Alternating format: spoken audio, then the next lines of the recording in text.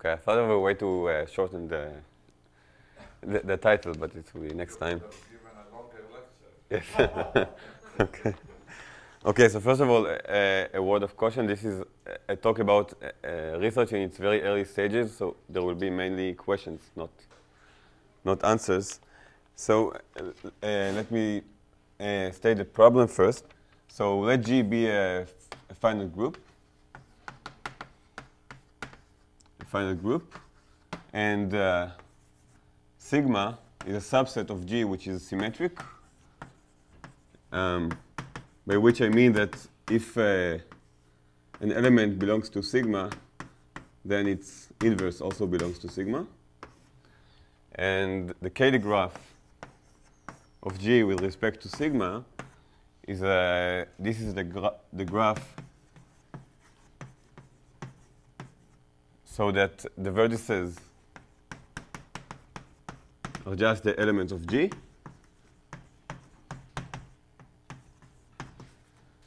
And the edges uh, show the, what happens to every element if you multiply from the right by an element of sigma. So the edges connect G to G sigma for every G in G and sigma in sigma. And um, okay, and let's say that we look at the uh, A is the adjacency matrix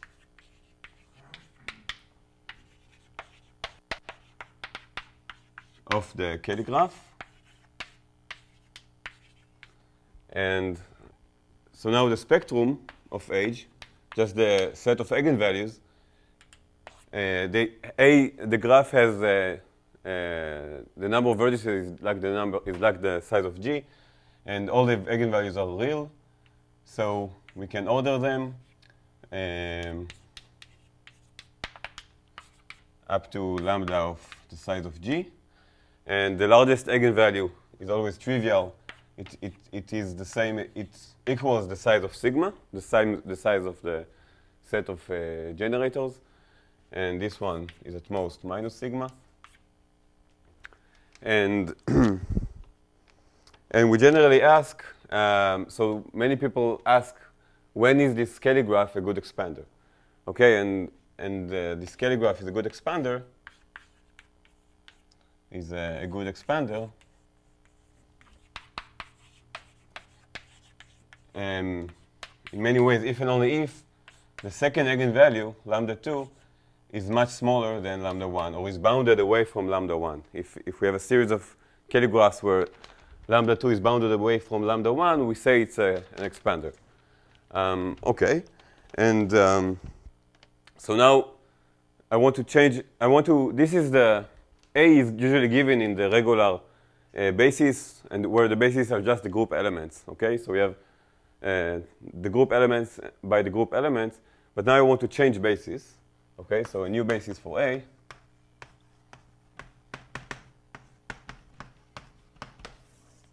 Okay, so first we should notice that um, A, as given here, is just uh, the image of the of the regular representation of G. Okay, it's the sorry, it's the image of the set of generators sigma uh, via the regular representation.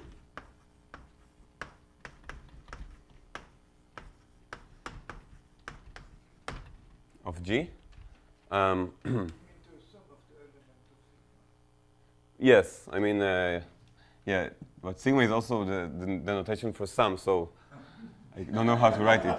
But it should be something like that. Sig sigma over sigma in sigma of sigma. Yeah, so, and, and, now, so I'm going to use the fact that the regular representation of G is a sum with multiplicities of all the uh, irreducible representations. So this means that um, I can, in other words, it means that I can take this adjacency matrix and change the basis such that the, the matrix, matrix become a block matrix. Okay, so for example, okay, just right, this is a, a sum of all irreducible uh, representations of G. So A becomes a block matrix. So for example, for if G is the symmetric group on three elements, and so it's a six by six, there are six elements, it's a, six by six matrix, but with this uh, new basis, it becomes, it has four blocks, one of size one, sorry, two of size one, which I'll draw here, and then two more of size two. And this would be, everything else is zero. This is a trivial representation, so um, this is the sign representation. And here we have two copies. So these are two copies of the of the standard representation or the two-dimensional representation of S of uh, this group. Okay, and now and what, what we should note, and, and it's a and it's easy to see that the spectrum of A is simply the union of the spectra of the union of spectra of the um, of the blocks.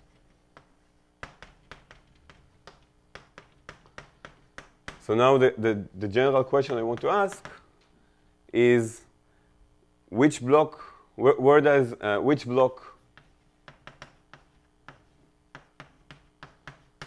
is, I would call it uh, spectrally dominant.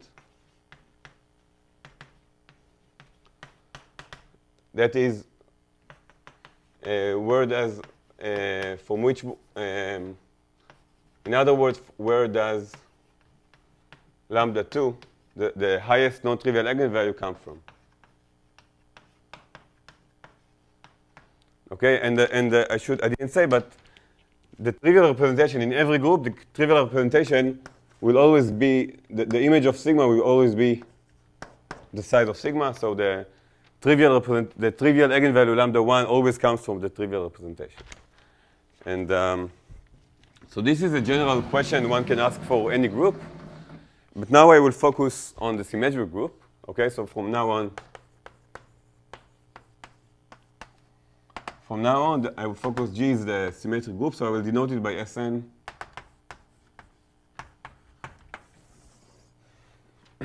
so now I have I have more concrete things to say about the symmetric group.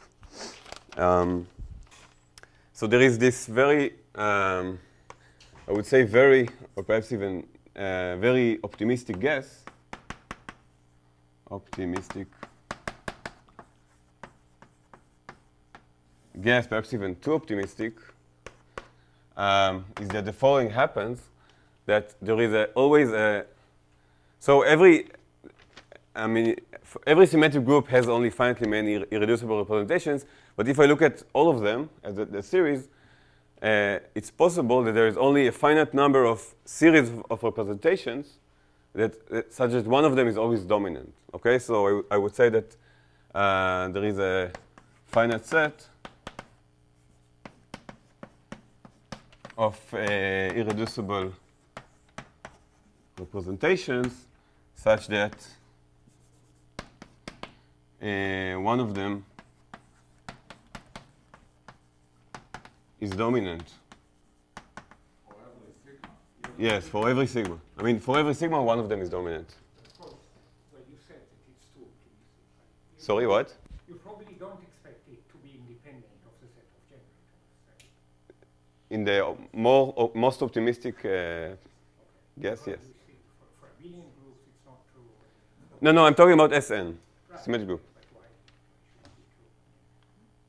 I mean, uh, okay, so I give you now. So I'll try to pursue to convince you it's true. No, no, I don't assume anything. I mean, it could be even that the graph is disconnected, right? Right, and then it's true. So I will show you now. Okay, let, let me. Is disconnected. Sigma system of generator or not? Sorry? Do you assume sigma to generate G? No. No. Okay. Yeah. Right. No, actually, in this case, I this will be one of my uh, evidence to court that. Well, if disconnected, then maybe many of them are right? Okay, okay, right. Okay, so I, I, I should be uh, more precise. I mean that if there are more than one if there is if there is uh, equality in the there's more more than one dominant, so at least one of them will be one of the dominants. Okay, this is what I mean. Okay, so here, here is some some evidence.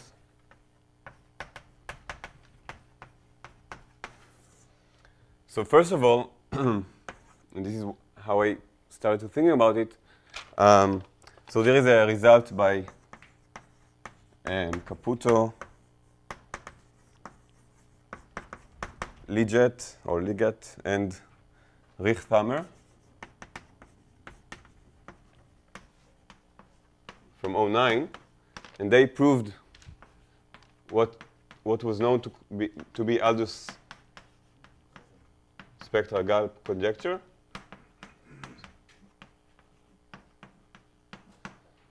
And, and they show that when uh, this conjecture said that if sigma is a set of uh, transpositions, so these are permutations that only uh, exchange two, two elements and leave the rest unchanged, then uh, the standard, there's only one representation which is always dominant. Okay, so standard, um, the standard representation, uh, which is, uh, okay, if for those of you who know the, how to read representations from uh, Young diagrams, this is this representation. Okay, with only two rows and one block in the second row, is always dominant.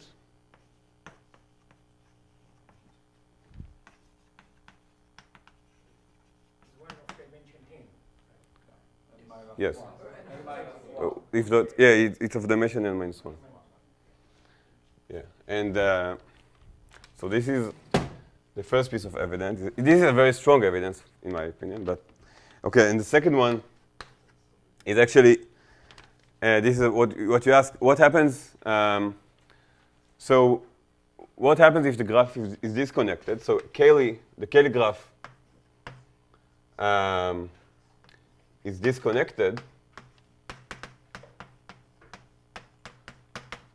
so this means spectrally that the, se the, second eigenvalue is the same as the first one.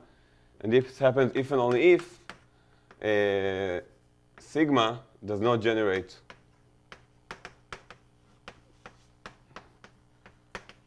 the, the whole group, but by the classification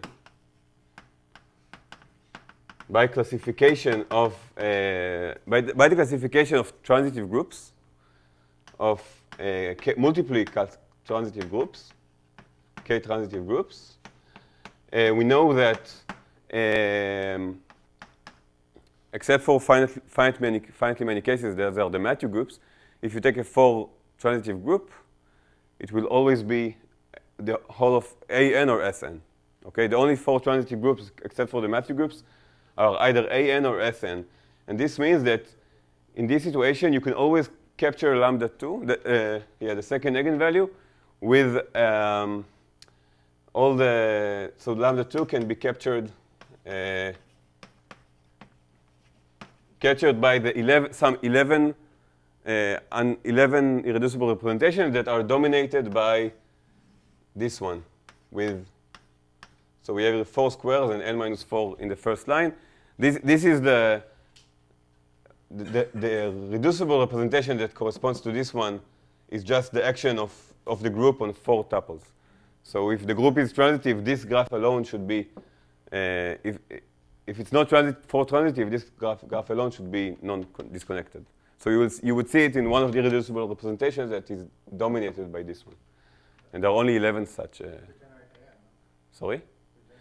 Okay, right. Um, so let's assume, okay, you're right. So let's assume uh, sigma does not, for now, is not co contained in AN. So if it's for alternative, you get entire all of Sn. But you can also fix it for AN.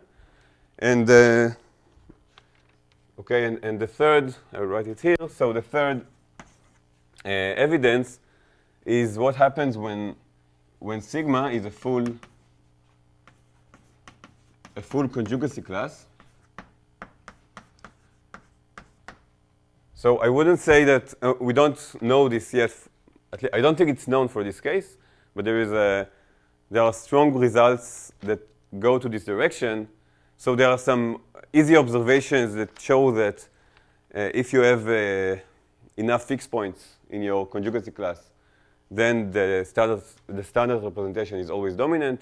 And there, is a, there are results by Larsen and Shalev that give you something of this spirit, that there is only finitely many irreducible, uh, finitely many dominant representations in this case.